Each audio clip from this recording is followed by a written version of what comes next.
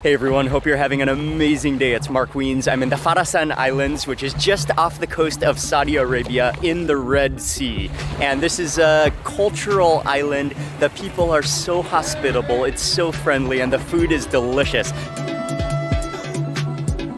Today we're going on a tour of Farasan Islands and we're gonna be touring around, we're gonna eating some of the local food and trying some of the local delicacies. And then the highlight for today is we're gonna go to a beach where some of the local community have gathered and they are going to prepare for us a local traditional Farasani style meal with fish cooked in a local tandoor on the beach. It's gonna be an incredible day. The food is going to be delicious and there's gonna be a lot of fun culture and delicious food, which is all coming up for you right now in this video.